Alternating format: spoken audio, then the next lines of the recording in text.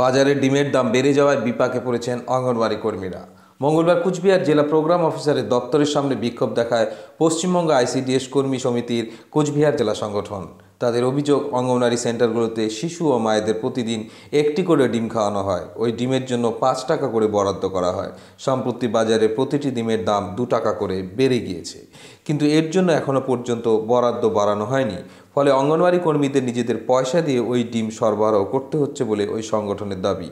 শুধু তাই নয়, কেন্দ্রীয় সরকার অঙ্গনওয়াড়ি সেন্টার তুলে দিয়ে সরাসরি উপভোক্তাদের অ্যাকাউন্টে টাকা দিয়ে বা প্যাকেটজাত খাবার সরবরাহ করার চেষ্টা করছে বলে ওই সংগঠনের পক্ষ থেকে জানানো হয়েছে। রাজ্য আইসিডিএস কর্মী সমিতি, কোচবিহার জেলা কমিটির পক্ষ থেকে আমরা এই ডেপুটেশনটা আজকে দিচ্ছি। আমাদের সারা রাজ্যেই এই কর্মসূচিটা পালিত হয়েছে চব্বিশ এবং পঁচিশ তারিখে।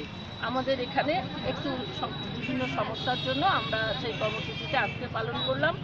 কেন্দ্রীয় সরকার, কেন্দ্রের যে বিজেপি নেতৃত্বাধীন যে এনডিএ সরকার তারা যেটা চক্রান্ত করছে, যে আইসিডিএসকে তুলে দেওয়ার একটা পরিকল্পনা হচ্ছে। এখন আমাদের জেলায় খুব জ্বলন্ত সমস্যা। জেলায় কি? তো সারা রাজ্যে ডিম, যেটা আমাদের প্রত্যেক দিন বেনিফিশিয়ারিদের খাওয়াতে হয়, সেই ডিমের জন্য সরকার থেকে পাঁচ টাকা, একটা ডিমের জন্য পাঁচ টাকা নির্ধারণ করা আছে।